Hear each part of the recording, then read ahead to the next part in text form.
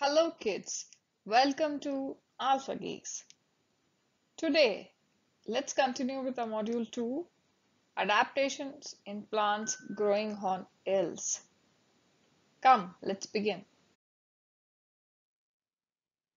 Come, let's see some adaptations of trees growing on hills. The climate on hills and mountains is cold to very cold.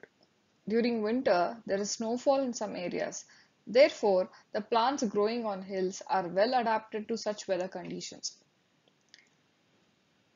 Some of the adaptations that trees, trees have undergone are they have a sloping shape which helps to slide off the snow easily. This in turn helps to prevent damage to the plant and its parts due to extreme cold.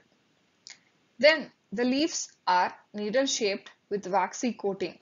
This helps to prevent any damage from the snow. These trees have woody cones instead of flowers. That is why they are called coniferous trees. The cones are very hard and bear seeds inside them. Examples of coniferous trees Pine, spruce, fir, deodar or cedar, larch.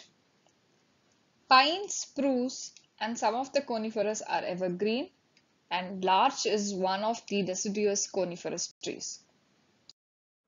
If you have liked this video, then hit the like button and subscribe. And don't miss to press the bell icon to get new notifications. Thank you.